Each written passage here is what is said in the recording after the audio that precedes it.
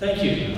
Uh, thank you all for coming here tonight, this uh, wonderfully temperate Adelaide uh, evening. I think you're um, matching Brisbane, where I'm based at the moment, of, uh, although I'm uh, employed in Melbourne, that's uh, there's a little story there, but um, based in Brisbane at the moment. So, um, yes, it's, uh, I, I, welcome being in a, similarly warm and agreeable evening climate, and it's great to be back in Adelaide hall. We had this, um, your colleagues here hosted, I think, in my view, the most successful State of Australian Cities conference. That's the major research conference for our theme in area and urban studies here a number of years ago. And This is the venue, I think, the lunches, if I remember correctly. That was a great place to be, it's an honour to be back here. So, thank you for that. Um, that dimming is the point where these have to come on. So, um, if I may start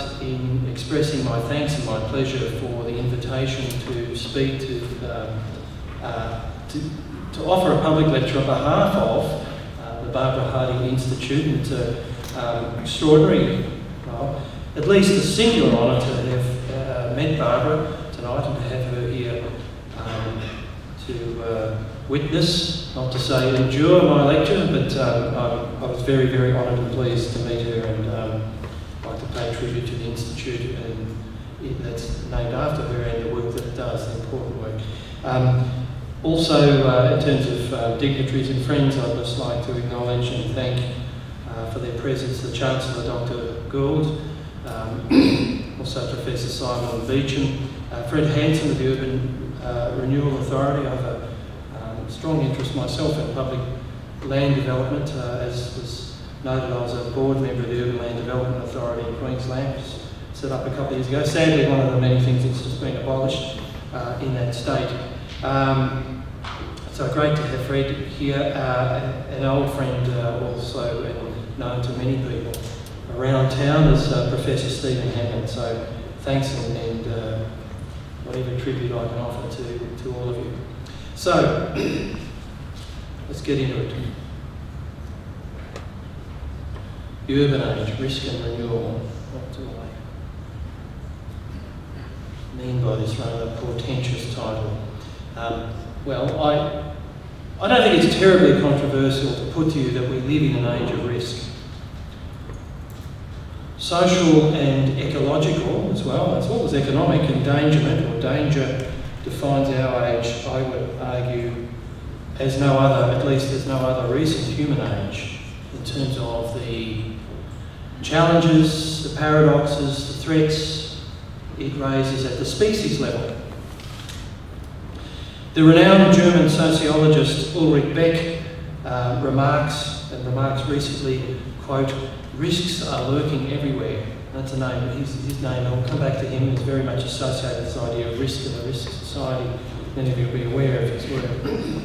Now, in the wake of so many um, recent natural and human cataclysms, this observation is it, simply a banality to say that we live in an age of risk. Just, you know, we see the manifestation, often awful manifestation, the acting out the, uh, of risk uh, and endangerment. But if danger seems, perhaps, you would say to me, well, it's a commonplace, why are you making much of it? It must be acknowledged, though, um, the extent, I think, and the degree to which this idea of endangerment at this scale and, and risk is refused, is denied in many quarters. We're all aware that climate skeptics merrily honk that um, all is well. We're weatherproof, apparently the system, our society is fail-safe.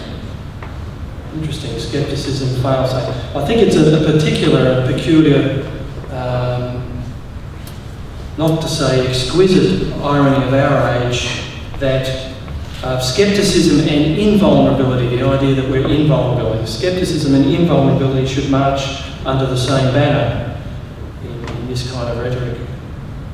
And I think the boldness of um, denial seems to grow with the scale of risk as it manifests. So in the face of manifest threat, threat that's becoming apparent, that, visits upon us uh, with great regularity, the idea of this, this unlovely word, reflexivity, um, this idea of critical self-awareness, reflexivity, um, I think that idea becomes ever more compelling for us as human beings, critical self-awareness. But I think that the, the mounting necessity of this critical self-reflection, um, interestingly, as it becomes more and more compelling, I think, uh, it seems to, on the other hand, provoke an ever uh, greater blaring of horns from the denialists and the refuseniks.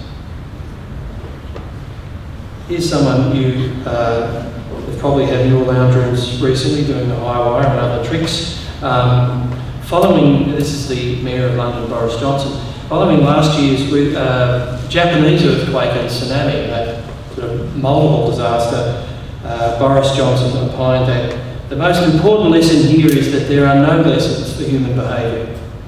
There is no rhyme or reason to an earthquake, and we should for once abandon our infantile delusion that we are the cause and maker of everything.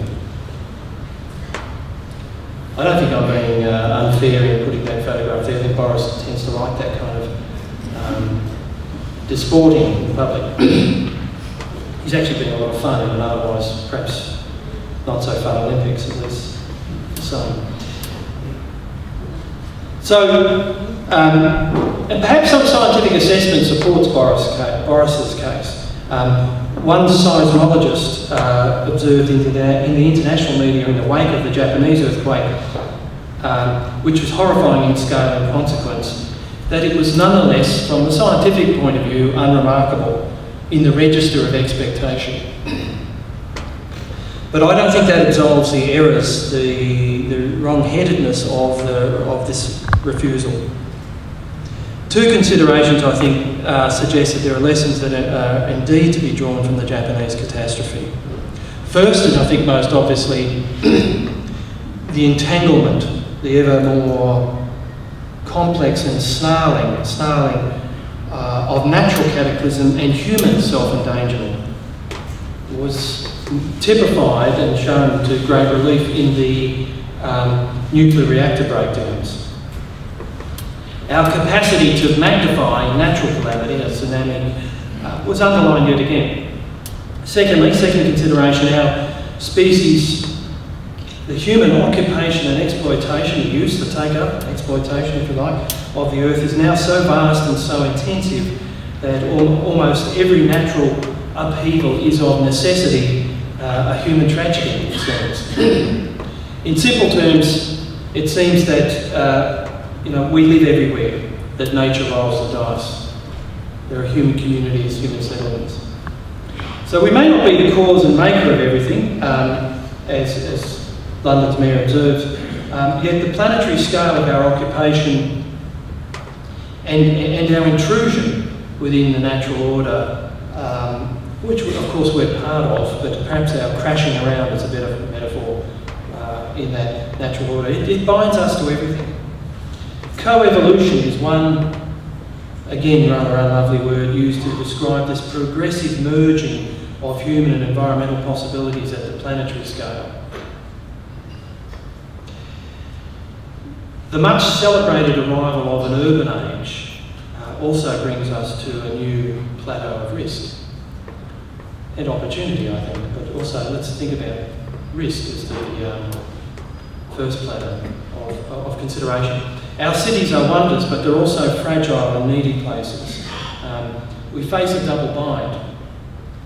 Our vast terrestrial potency uh, is mirrored in the terrifying scales of species risk and vulnerability that we've ascended to. And this is what Ulrich Beck talks about when he speaks of the age of risk. His last book, which I recommend to you, uh, uh, well, it may not be his last, but the uh, last book on this topic, a couple of years ago was called uh, World at Risk. But he's written severally and importantly on this idea of a, a risk society, an age of risk. It's what the German philosopher Hannah Arendt, uh, or Arendt foretold in her 1958 masterwork, The Human Condition. Um, the paradox of modernity, our modern age. Uh, as human powers increase through technological and human inquiry and advances, um, we are less equipped ever less equipped to control the consequences of our actions. Modernity began as thought and power play, but was propelled into being materially by the Industrial Revolution. Uh, and with this, we placed our bets on Prometheus, perhaps, believing at last that we had the chance to outrun and outplay the natural forces that have regulated and contained human existence. I think as an aside, I read, I don't know why I read it, it's a bit spooky really, but I read recently Frankenstein by Mary Shelley. Interesting uh, book. But its um, subtitle is The Modern Prometheus the Victorian imagination was very captured by this idea that we were playing with nature and we were transcending, escaping the bonds of nature. But of course, the warning in that early 19th century novel of Shelley's was that this, this could have terrible consequences. Anyway, back to this. Um, Prometheus, uh, the titan from Greek mythology, who had scorned the natural order and imagined himself greater than the gods. Juxtaposed here in this image, um, with, which is a bit of a favourite image from Victoriana of mine, of um, the wonderfully named Isambard Kingdom Brunel. They don't make names, they don't mint names like that anymore. Victorian, mid-Victorian name. Isambard Kingdom Brunel, the great Victorian British English engineer who did more than most to inspire the industrial imagination uh, with his great works. And uh, yeah, I really like that photo, the kind of insouciance about the man too uh, was something apparently to behold. Um, so in throwing off, you know, going into industrialisation and the creation of industrial society and all the, the great magnification of powers and wants and needs, in throwing off these external bonds, we also shrug free of the idea of self-limitation. A principle that had been deeply embedded in the pre-modern era uh, order that the Enlightenment had set up in, in, from many directions to oppose and dethrone and dissolve. The principle of self-limitation survives as value and practice amongst the ever-dwindling bands of pre and perhaps proto-modern peoples around the globe. Uh, for models, it was the uh, baggage of necessity uh, forced on our grasping and grubbing ancestors by natural caprice, natural imperative, natural demands. Its use, indeed its very meaning, was extinguished by modern ambition and the new powers that were arrogated granted into ourselves by science and technology. Now, if by no other thing industrial modernity was marked by the conscious extinction of that value of self-limitation. Now, besides casting a protective spell over power, in the past, limitation was valued because it restrained the human tendency to overreach and to self-harm.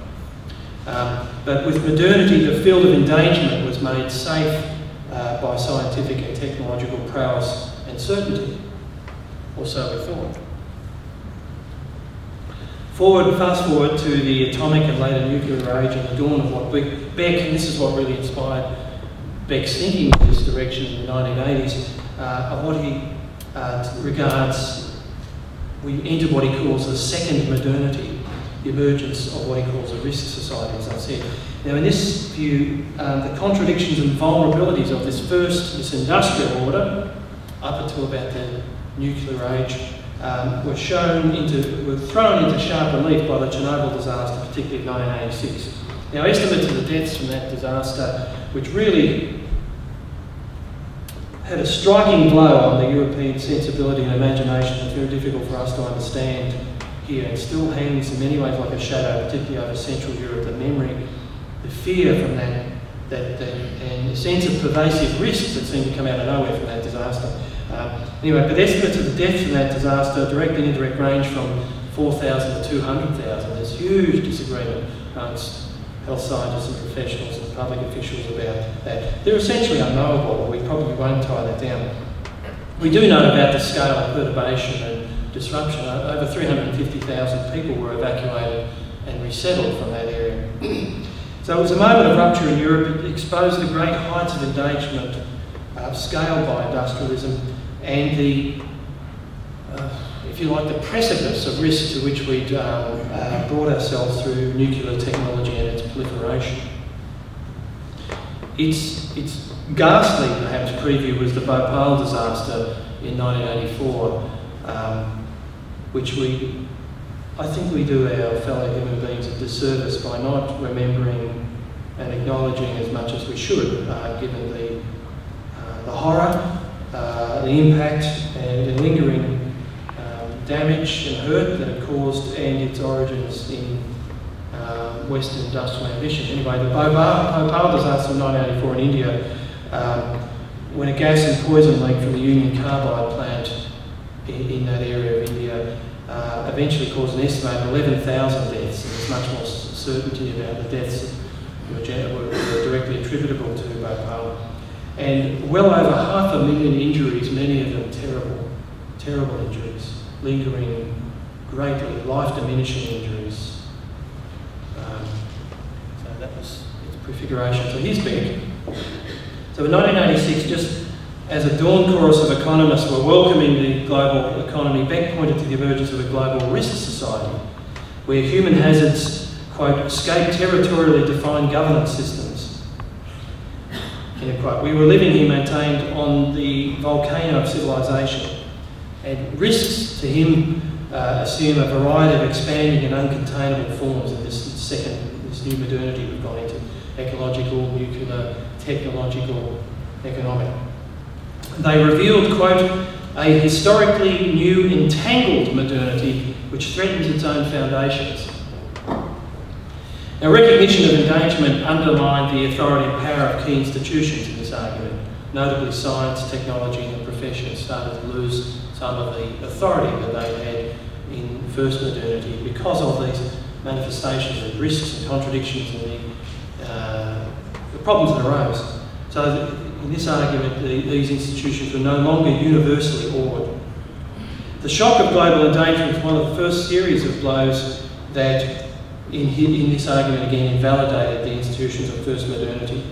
There was the growth of individualisation and the progressive boycotting of um, traditional political and social structures. I, I won't go further into those other sociological and political elements of the risk society thesis, but they're important to note in passing. Um, national structures were weakened and recast, human and cultural transfer at every possible scale across every conceivable border uh, has been remaking, therefore, uh, uh, during also this time, the world along cosmopolitan lines. Um, and what does cosmopolitan mean, rather than a magazine or something? Um, in this more careful definition, Beck means, quote, uh, to quote uh, his definition, human beings must lend meaning to their lives through exchanges with others and no longer in encounters with people like themselves. Right? So we encounter, as our parents did not, Boris Johnson in our living rooms as we eat our dinner. Um, this idea that the, the strangers, the other, is, is, it becomes part of our everyday world, cosmopolitanism.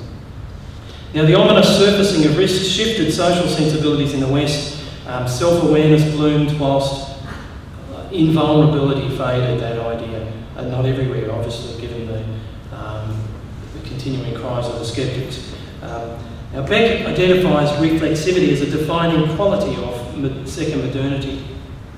And what, what, does he mean by that, reflexivity, that awful word? Well, he really means the fact that we've adopted principles like sustainability and the precautionary principle. We doubt this, this uh, great record of this great ambition, this great uh, record of untrammeled success, the story that came out of industrial revolution, industrialism of the first modernity. Now for Beck, like uh, Marx, social forms carry the seeds of their own destruction uh, and modernity's fatal turn for him in this argument was to caricature the Enlightenment, to not uh, properly mobilise and deploy its principles, its generative ideals. So after Arendt, Arendt and to think about how she explained to us the Enlightenment in that important book, uh, the, the, the, Enlightenment was really about two things, and we tend to forget one of them. Uh, it sought to uh, enthrone two mutually restraining principles in, in human development um, to guide modernisation, doubt and reason. And we tend to associate it with reason, and we tend to forget that doubt was um, an absolutely uh, important principle raised by the Enlightenment thinkers. Now the mistake of first modernity was to discard or to diminish doubt, uh, or at best retain it in a, in a vulgarised form as a sort of scientific sound check.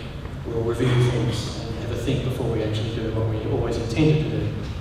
Um, now, thereafter, the, the, narrow path of human development, once we really, in this story, made this mistake, uh, was marked by excessive rationalisation, not enough doubt, and, and its perverse byproducts, domination, alienation, endangerment. And, um, you know, thinkers like Zygmunt Bauman is a very important global sociological thinker, you know, tied this back to the rise of Nazism.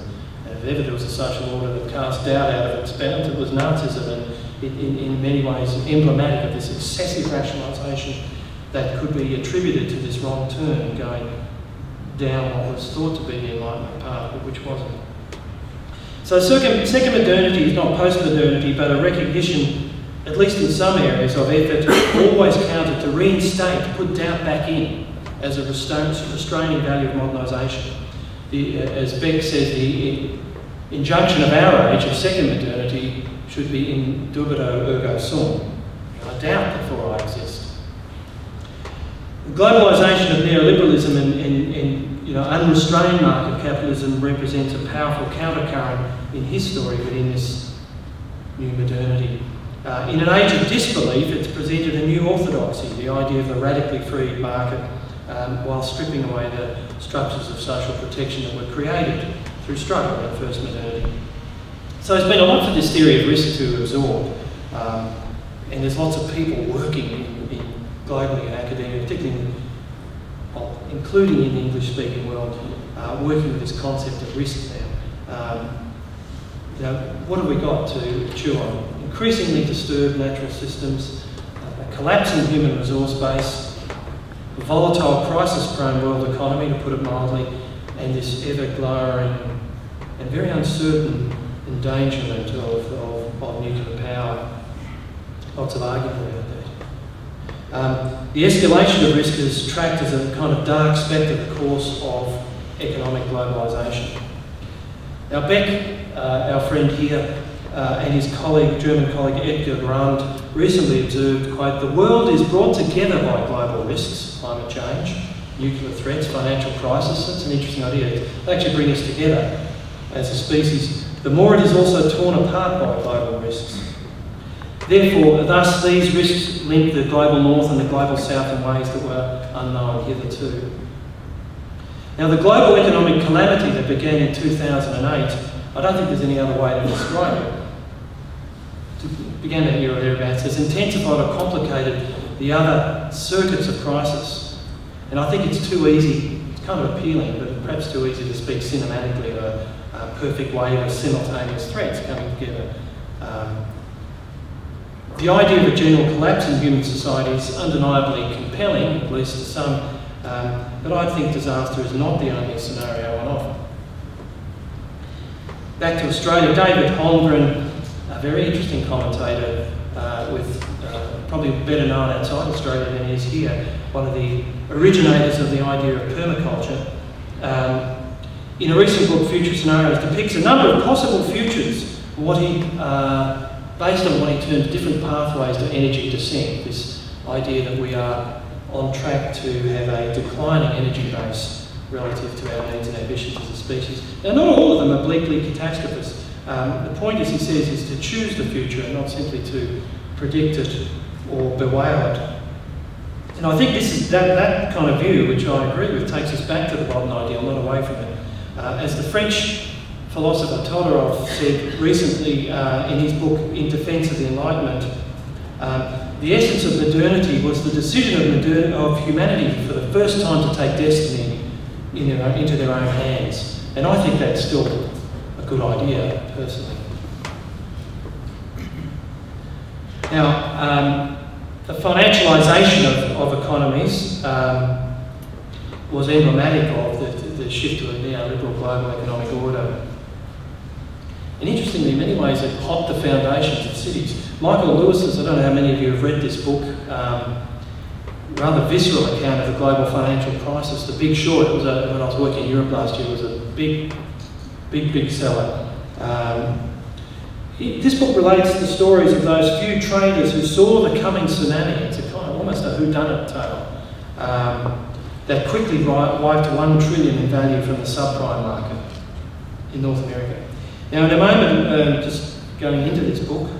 In fact, page 222. Uh, in a moment of crimson premonition, one such trader, Ben Hockett, one of his kind of anti-heroes in the book, glimpses endangerment at the very roots of urban, urban functioning, urban existence.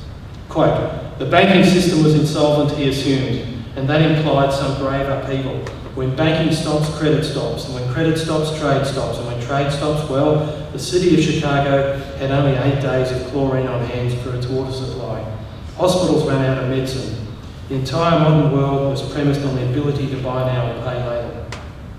So it's kind of linking that risk back to the underlying and not always exposed and thought about and debated shifts in functioning in our urban system, which I want to come to for a few minutes discussion very shortly. Fact, now.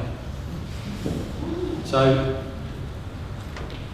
in what, in what follows, um, for the next little while, I want to offer um, a few reflections as an urbanist um, on the um, predicaments of second modernity, most especially the uh, endangerment of climate warming, which I've thought a little bit about. Well, first consider the, the, the contemporary ground for human reflection and I think conversation. It's been transformed by the success of the greatest artefact of modernity, in the city. Arguably the greatest. Humanity is now an urban species. Homo urbanus is a, is a marker, is a title we put on that idea of ourselves as an urban species. The majority of human beings uh, now reside in urban settings. And urbanisation continues at a rapid rate. And, um, you know, by about mid part of this century, the UN predicts that about 75% of us will live in, in uh, urban settings of some type, Not, not in rural settings fairly simple break and definition. Now, contemporary urbanisation wears many different faces. It ranges from the incremental planned expansion we might see in Adelaide, we'd hope to see in Adelaide. um, it ranges from that to the explosive growth of southern megacity regions in the developing world, and that is truly so convulsive and explosive we don't, almost don't have language for it here. The rate of urbanisation, in the form of urbanisation in places like China. It includes also the contraflows, flows going back the other way, like the sclerotic decline and even collapse of Rust Belt cities in North America and Europe. In Europe, it's not uncommon to talk about dwindling, declining regions. They don't just talk about growth. Detroit is a place I've, I've visited um, with work several times, and uh, industrial behemoth, now a relic shell anyway. The city of Detroit, I'm not talking about the, the many counties, the affluent counties where people fled to outside that very large city, but which is depopulated, there's still plenty of people living there, it's lost a lot of population, it's now really a relic of first modernity. Some 12,000 abandoned houses alone lie within the formal city boundaries, and it's interesting to drive around there. There's always houses burning, there's always things burning. And um, I had an interesting conversation. I was taken to meet the um, chief planner. I don't think he was called planner, but the, anyway, effectively the chief planner of the city of Detroit to have a, a conversation. It's interesting when we think about the problems facing planners here or the issues and the priorities and imperatives. His biggest problem was trying to find out who owned what in Detroit because large swathes of those properties had been abandoned for so long in Detroit that nobody knew who owned them anymore. And there was there is a process in newer cities of title transfer where if rates haven't been paid long enough, the city resumes, assumes them, and the, the city doesn't always want them. They're a problem. And there was serious talk about fencing off large areas of Detroit and turning off the urban services because it was really too expensive just to maintain these smoking relic areas. But um, also, um, having said all this, there's a new there's new evidence and new conversations of some really interesting things happening in Detroit though too. People starting to experiment with new forms of renewal in this sort of post-industrial setting, if you like, and, and to enact some of the ideas around sustainability and self-limitation and uh, self-provision and safe provision and community safety. Some really, so you know, in the midst of this decline and, and to some extent horror, there's good things coming out of that. There's a, there's a message and a metaphor for us. Um, yeah, so cut to contrast. Um, I uh, was hoping to show you, hang on, let me, oh yeah, I've got them slightly out of order, no problem. Um, China's booming and sprouting metropolises. This is um, Thames Town in Shanghai. Um, now, in the face of sustained environmental and scientific critique, nonetheless, it's the low density suburban model that continues to define urban tastes for many in developing nations, yeah, particularly the aspirational parts of developing cities. Um, we might, or at least some of us might, cherish the idea of the urban village uh, and high density living, but that's what they're trying to get away from. Um, they are very interested in a different kind of model that we've bequeathed and that is modern suburbia, not the urban village. So this is Thames Town, even with its kind of faux uh, concrete church, which is a great place of setting for uh, weddings. I don't think it has a particularly religious uh, significance or functioning, but it's, it's, a, it's an honest and authentic expression of a desire to take up a model that we've put out there we've put on offer, which is um, low and medium density living.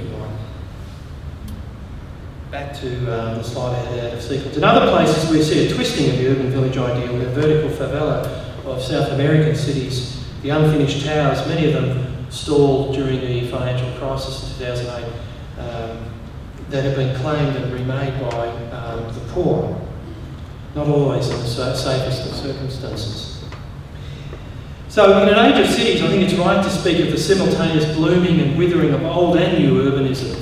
There's not one model of urbanism, urbanisation that's been taken up or enacted. But there's surely some similarities about how we're going about this process, but I, want us to be mindful of the differences as well. Contemporary urbanisation cannot be summarised in one simple model, um, but it is faced by a set of common threats that beg, ask us, require us to develop a unifying, accommodating frame of analysis. Climate warming, yes, it's going to manifest in different ways, but it's a global human process uh, that links us all, resource insecurity, um, and these are problems emerging out of the same systems that are generating urbanisation. So,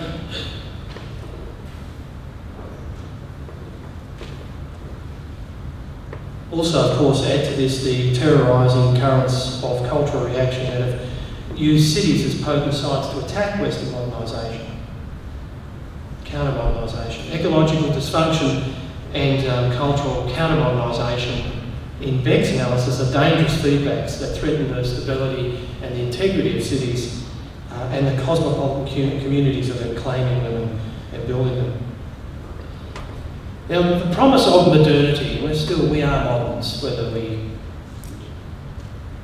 to sort of postmodern ourselves out of that, I think that's a non sequitur, whether we want to imagine that we're not modern. We are. Um, we still are very much um, embedded within that process, that modernisation process. But I do, I am persuaded by the kind of break that Beck is, uh, is proposing between uh, this periodisation between a first and a second modernity, a risk modernity, industrial modernity to risk modernity. But the, the promise of modernity was urban. Stadtluft macht frei, as the, um, the old Germanic injunction about um, city air you free after a think a, a year and 100 days. I can't remember the, the latter, the suffix to that, but basically, you know, you moved into a, a city and you were able to free yourselves from the bonds of feudal um, servility and, and, and um, the entire the whole feudal order. Cities represented freedom. Um, now we are urban. We are now urban as a species. Um, but that promissory note of freedom seems to be very tarnished, I think, in our hands. What is the value of freedom in an age of urban endangerment? Now, our ancestors sought to escape natural, um, uh, the enslavement of natural caprice and necessity. I think we moderns face a different kind of tyranny, the naturalisation of risk at planetary scales. One of Michael Lewis's, going back to that big, you know, the cigar, that big, big short book, one of his anti-heroes uh, a trader by the name of Danny describes in an anguished awe the global financial meltdown as a synthetic natural disaster. I think he's kind of picking up that, there's, there's going, heading towards that idea of co-evolution, you know, the kind of risks that we've been, we're entangling. These are the, the awful and, and terrible um, Black Saturday fires of February 2009, um, glimpsed from a suburban shopping tower in Melbourne, um, kind of underlying just how close, how present, how frightening, how imminent that, uh, that particular manifestation, that disastrous manifestation, uh, the deadly manifestation of risk was to um, one of our cities. Let's take a few minutes to think about the climate um, emergency, and I think that's the best way to think about global warming. Um, of all the threats that we moderns have faced, and in many ways generated for ourselves in the last 400 years, um, none arguably has uh, possessed the lethal potency of climate change, global warming. James Lovelock calls it global heating. Now, in this most uncertain of worlds, a Western civilization that's now, um, you know, a reflexive, doubt-ridden, more doubt-ridden place, deprived, therefore, of the certainties of ideology, of faith and human identity, um, there are some things that we can be ever more sure of. Uh, our species is in transit to what uh, James Lovelock, who I just quoted, calls the next world. And if the science is right, and I think we have to believe the science, it is so consensual and so one directional. Um, it will be a world dominated by global climate shift that we cannot yet describe fully, that's true, but which is inevitable and approaching fast, and it's not as completely as unknowable as all that. Uh, the next world obviously will be very much hotter and drier, but with many whirling under and countercurrents, a wilder weather, uh, a, a, regime of wilder weather. It will be much less conducive to human existence. That's what science is telling us. Um, we cannot know precisely how a great change will occur, but the southern megacities in Africa, uh, the subcontinental states and Asia will be the first to feel possibly the um, large-scale effects of uh, climate warming uh, and exposing to great peril a substantial proportion of our species. This may well generate great migratory shifts uh, as displaced and distressed populations flee sea level rise and the uh, destructive weather that will come with it. Um, think about that. Is the Nile Delta um, seen from space, where a uh, reasonable proportion, slab of humanity live presently in a growing area. Um, after uh, one metre sea level rise. I'm sure many of you have seen uh, these kind of depictions. Um, you can you can sense the scale of perturbation and disruption. Um, honing in on that to get a sense of a really you know occupied human place, intensive agriculture, urbanisation and the like. You can see on the sort of pointy end of this change um, what happens to places like this after a, just a metre sea level rise, uh, which is certainly the, the forecasting period. So much for orderly migration programs, uh, but countercurrents possible too. Um, writing in The Age recently, the US commentator, I guess he's syndicated, Thomas Friedman, uh, related how unprecedented and grinding drought in the Middle East, we don't hear much about that, but it's a really big story in the Middle East, um, is driving urbanisation, displacement and disruption, a push factor from rural areas in the Middle East and stoking also thereby political and social volatility. That's not, not any way to question what's going on there, but to notice that there's a, there's a, there are other patterns driving a, and contributing to, these global patterns are starting to manifest and contributing to the sense of a disturbed species. Australia, the um, desiccated continent, has already witnessed to record droughts, soaring average temperatures, uh, plummeting catchments for the cities, particularly on the eastern seaboard Um, but the first place where that's been registered and accepted uh, has, has, of course been Perth, which has lost a substantial amount of its uh, water catchment capacity, real really relying, um, many scientists would say, disastrously on its um, aquifers for. What about Kevin Rudd? Do we remember him? Do we want to remember him? What about his big Australia, this idea? You remember that a couple of years ago? Um, where we had this for a little while, much arms flapping and near hysteria about his proposition that we should go to a population of 50 million.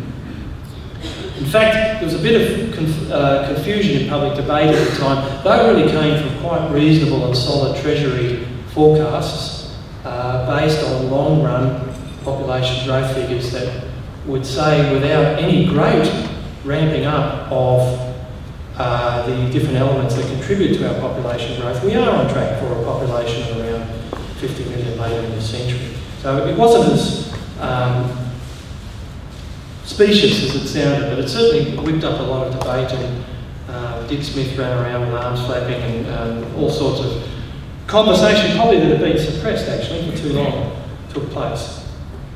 What about that big Australia in, a, in, a, in a disturbed world? Um, consider the time that science is giving our species to prevent runaway climate change. According to James Hansen, he seems to be in the press all the time.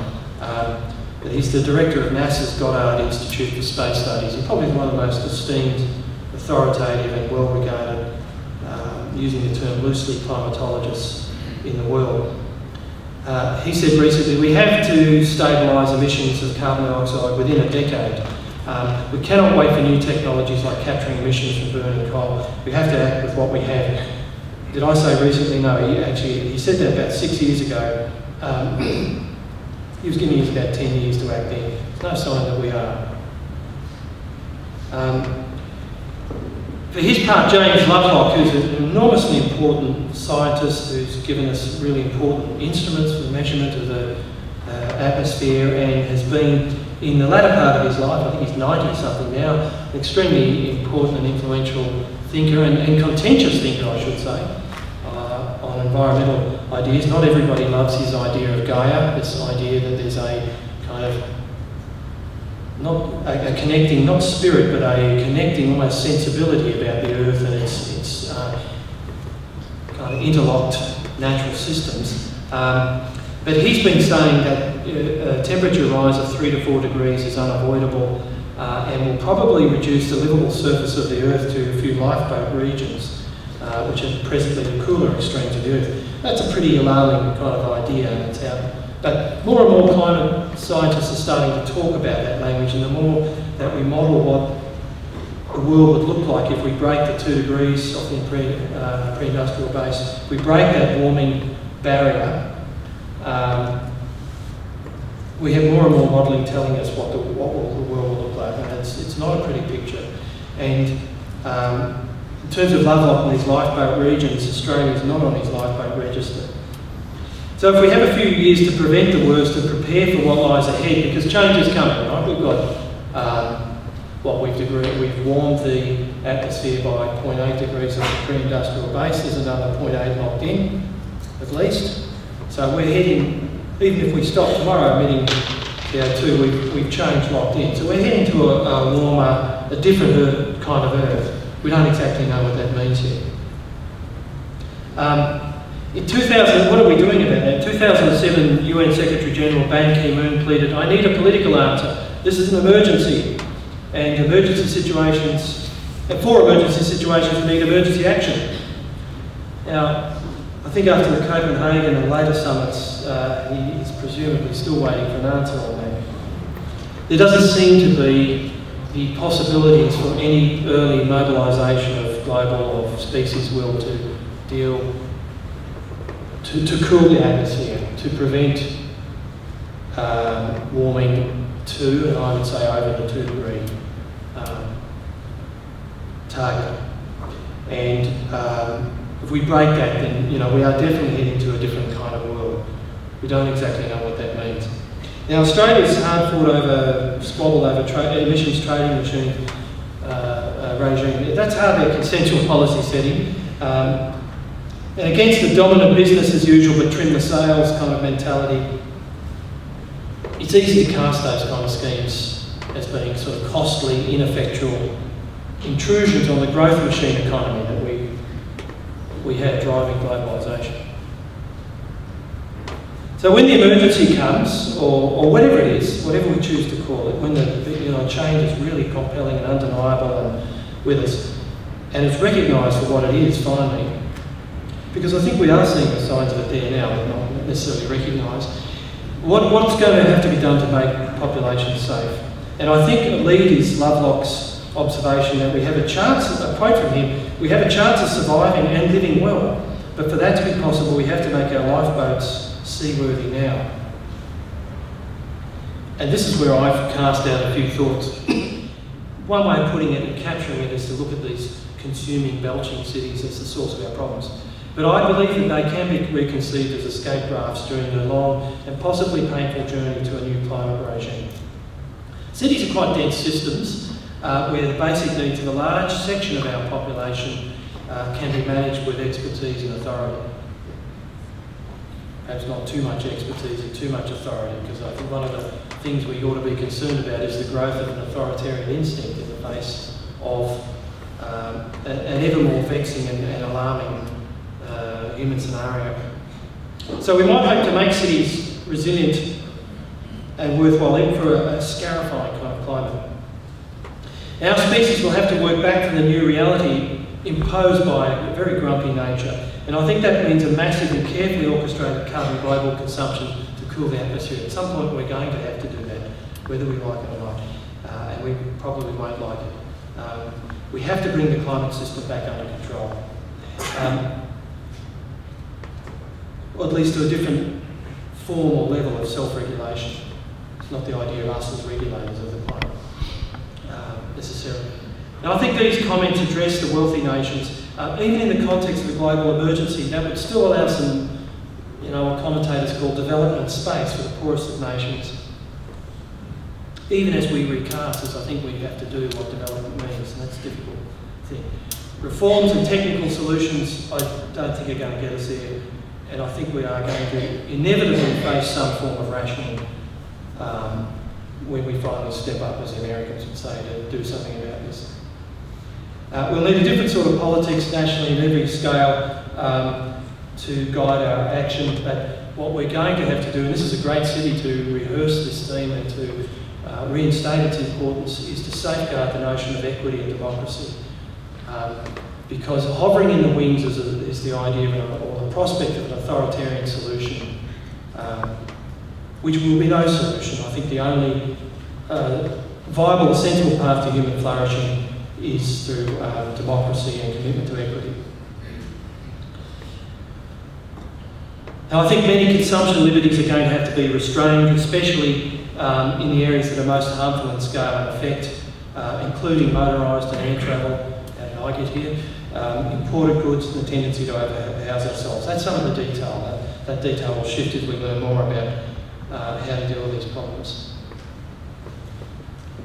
I think uh, I was working in Ireland last year and there's a great book by Fintan O'Toole, as a commentator in the Irish Times, someone I admire a lot, talking about the Celtic tiger phenomenon that crashed so awfully in Ireland, uh, really based on a sort of debt-fueled economy and a carefree, hands-off-the-wheel kind of approach.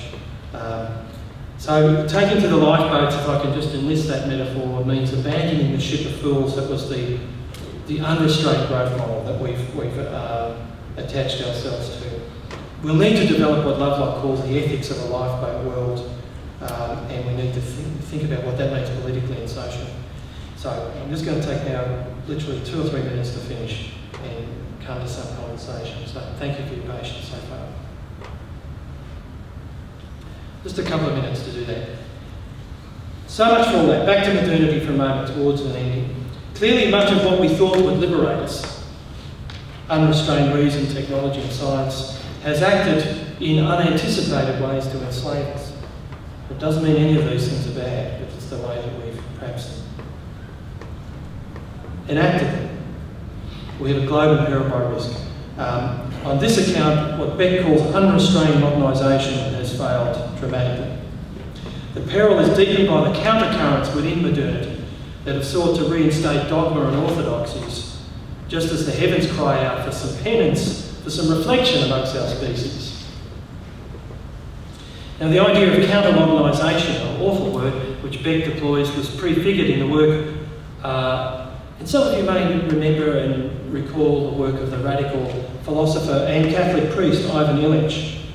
His ideas of counter-productivity, he was writing particularly during the 1970s, uh, highlighted the self-defeating forces of capitalist modernity and its appalling rival, state socialism. The manifest and alarming failures of modernity have now raised um, a new threat to this uh, modern project. This is counter-modernisation, dogmatism and terror.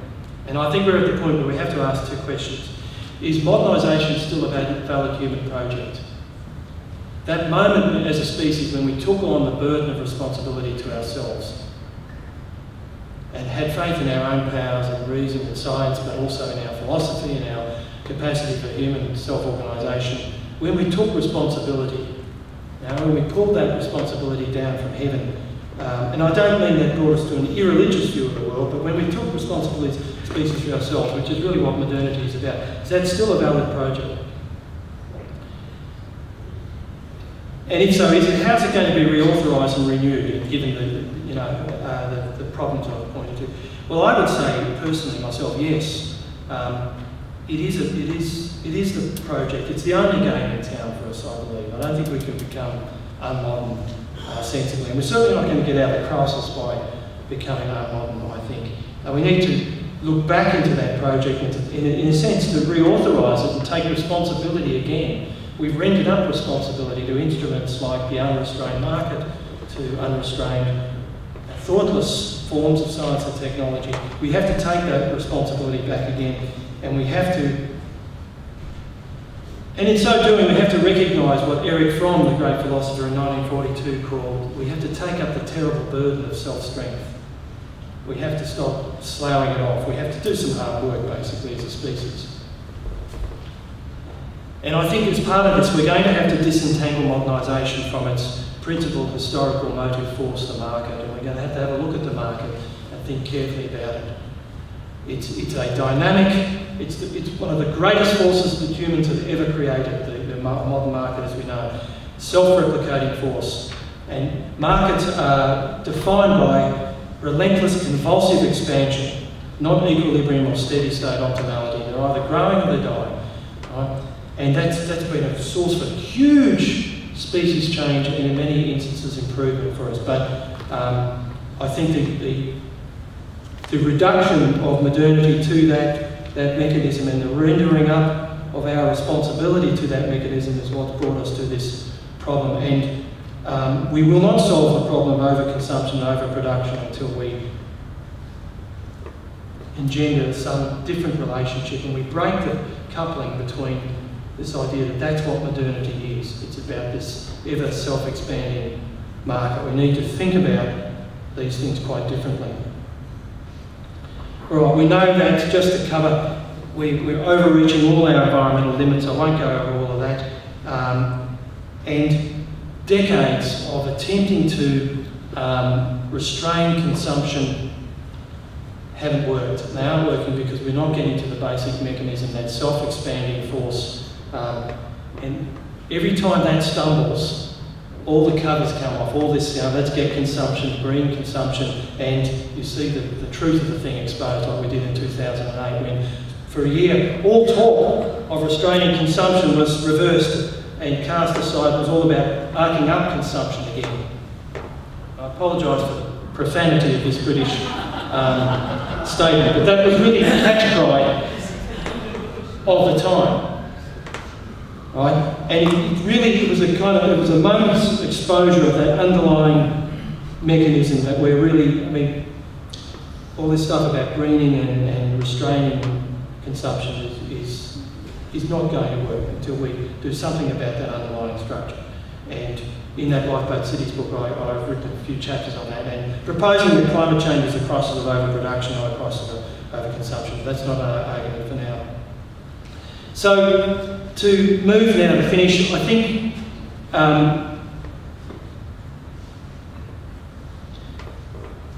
I do have faith that, well, I, I just, let's cast aside the notes and just finish with a couple of sentences. My, my last feelings are, better see what my last slide. So we know, I'm just emphasising the kind of unstoppable plot. We're not really doing anything about CO2 uh, atmospheric concentration, despite all our efforts to green and restrain and tidy ourselves up and nip and tuck.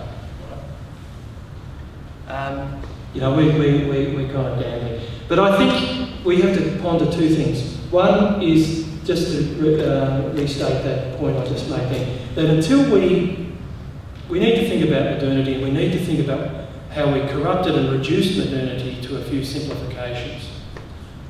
Too much faith in reason, not enough faith in doubt, if, you, that doesn't sound paradoxical.